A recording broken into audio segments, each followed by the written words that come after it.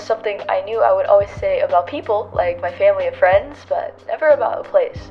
A couple weeks ago, I flew back across the country to my hometown to visit my family for a few days, and in typical our child has gone off to college fashion, I came home to my childhood bedroom, which was semi converted into an office and storage area, but it also felt like a snapshot, frozen in time from many years ago. Not a thing out of place. It was lovely to be home, and not just because I had an Asian mother to cut fruit for me again, or I was able to take a shower with good water pressure.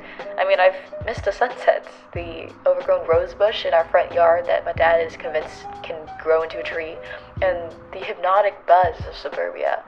I've forgotten what it's like to fall asleep to a quiet neighborhood, watching the fluorescent streetlights flicker on and the last bits of daylight fade.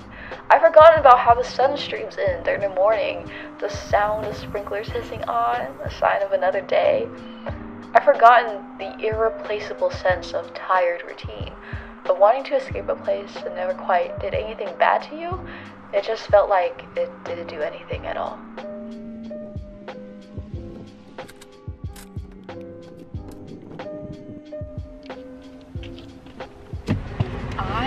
Just not have driven in over six months. It's like seven months now. This is crazy to me. My high school car as a sophomore in college. Woo!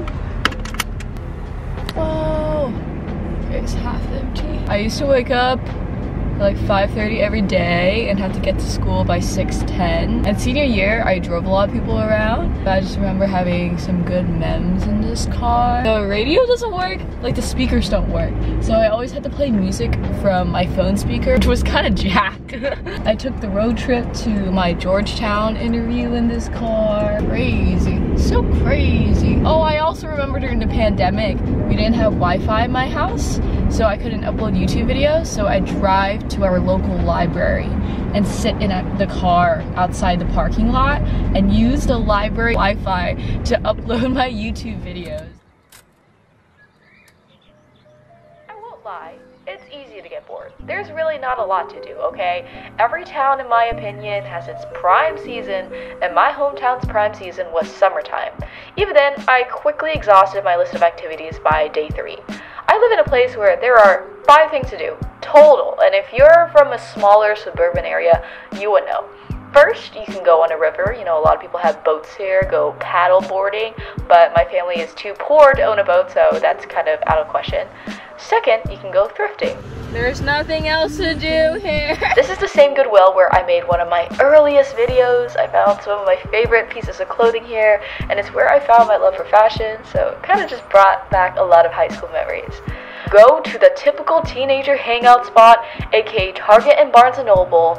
I'm not quite sure how these two stores became the place to visit, but something about these retail stores just scream Gen Z safe haven to me, and in my defense, I just like Legos, anime, and reading, and Target and Barnes & Noble combined have all three. Fourth, you can go eat out, whether it's for a meal or for a coffee, preferably at a mom and pop's. And I won't lie, DC has got my hometown beat for food, but the one place I craved while living in DC for the past year was this little breakfast burger pie joint called Joel's, and they had the best pancakes and jam I've ever tasted. Here's my mom and brother looking cute during brunch. And lastly, in classic coming of age movie fashion, you can go on a drive, especially at sunset while blasting that music, optional and for bonus points. Do it from a McDonald's parking lot or any other fast food chain works too. And if you get soft serve or froyo, ooh, ooh. I think when everyone thinks of Washington State, they think of Evergreens, they think of Twilight, they think of Seattle and the Space Needle. But the Washington I'm from is just desert. I kind of hated it at first. You know, when people ask where you're from and you say Washington State, they expect it to look really lush and green. But I don't know, the sagebrush, the agriculture kind of grows on you, I guess. also, our sunsets are just so unbeatable here. I Cannot think of a better place I've lived with better sunsets. The area is kind of pretty in its own way and you learn you learn to have some gratitude for it. I never thought I'd miss it here. I mean, I guess spending seven months away from home freshman year of college kind of does that to you. I've always been hella sentimental, hella sappy, Uh, I will hold on to thank you cards, ticket stubs, and wrapping paper like they're my most treasured possessions. I say I love you way too easily and way too quickly. And all my life, I just wanted to leave everything I knew for the city. I never thought I'd develop attachments to a place. Nos- nostalgia is a powerful thing, and with nostalgia comes the ability to long for familiar places and familiar people, remembering fond moments, all while pushing away bad memories and somber thoughts. And even when you're better off in the present, even when you want to look off into the future, you can't help but take a quick glimpse back. I visited my high school for the first time since senior year pre quarantine, a place I never actually got to graduate from. And I have both good memories and bad memories from those four years, but I mostly remember the good ones. Hello, old school, stinky portable. My kick ass teachers, my lifelong friends, made the good ones, and they're the people who made me, made me the successful person I am, with the values I have, with the passion I have, and without their love and support, I would never be here where I am today, which makes me love the place where I come from because they gave the people I have in my life. When I tell people I want to come back here after undergrad for a year or two, they're always surprised. I mean, me from a year ago would be surprised. Post grad, most people expect me to stay in DC or go to New York or LA or Seattle at the very least, and you might think it's because, well, you know, her family's here. And that is true, uh, but there is also family within the community. Uh, a community I didn't realize helped shape my character, my values, and me as a person until I left it. Family is the most important thing to me. I love my family even though they're not perfect, and it's a tired routine called love. Mẹ bên này cũng bận lắm nhưng mà Dạ. là mẹ bắt cho con Ok, thương mẹ nhiều nha, mẹ ơi. Ừ. Ôi, con mẹ.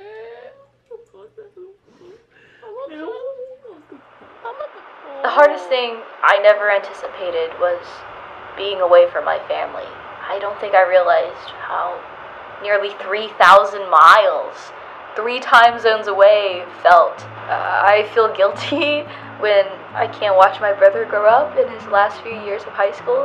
I want to be there most when they need me there most. I, I can't. I know I'm happier and healthier now, but there's days where I feel so bad for not being able to be there for my family because I know they'll always be there for me. Something I want to do is give back. Not because I owe anyone anything, but it's a small token of thanks that would never be able to live up to what was given to me. I want to be able to take what I've learned and experience and share it here. And maybe to a kid who had dreams as big as mine, and to let them know their dreams are big enough to become reality. So, yeah, I'll be back. Bye for now, but not forever.